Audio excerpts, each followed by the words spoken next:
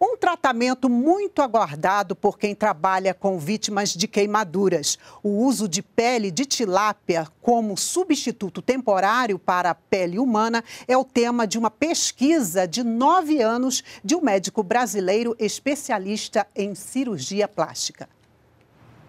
Foi assim, lendo o jornal, que Marcelo Borges, médico e pesquisador, teve a ideia de usar a pele de tilápia no tratamento de queimaduras. Falava sobre o uso da pele da tilápia como para fins de artesanato.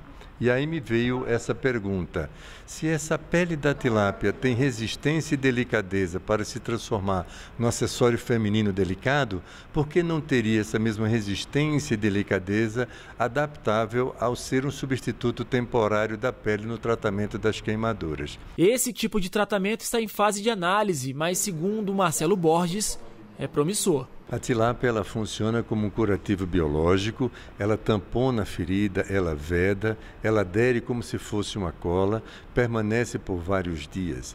Isso faz com que haja uma redução tremenda no risco de infecção, mas, sobretudo, uma grande redução da dor que é muito característica no tratamento das queimaduras. O procedimento ainda é experimental e só é usado em alguns estados. Só depois que a Anvisa, a Agência Nacional de Vigilância Sanitária, concluir as análises, é que pode ser expandido para todo o país. Enquanto isso, o tratamento segue da maneira tradicional aqui no Brasil.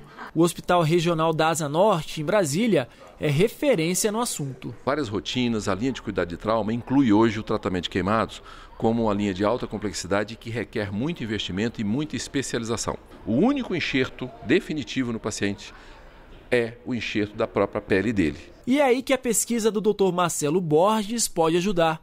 O curativo com pele de tilápia é voltado para 80% das pessoas que sofrem queimaduras no Brasil. Quem trata a queimadura acompanha isso com muito interesse, exatamente para que isso se transforme finalmente num produto autorizado pela Anvisa. Ele é mais barato, ele tem menos é, possibilidade de, de, de, causar reações cruzadas. Né? A cada ano, são cerca de um milhão de novas vítimas desse tipo de acidente.